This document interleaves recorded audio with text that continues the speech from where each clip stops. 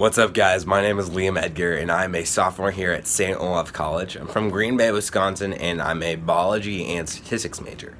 So I'm here in my room, which is a triple, which is fairly common to get triples and doubles, and you get some quads, but can be a lot harder to get a single. So here we got my desk, been working on that young organic chemistry.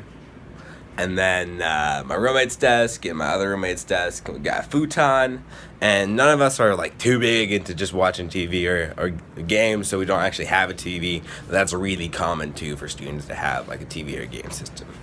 And I'm big into my morning coffee, so I got my coffee station and the South African flag because my parents are immigrants. And um, my lion, Lord Melbourne, say hi. He says hi. Uh, I can't make him wave with one hand.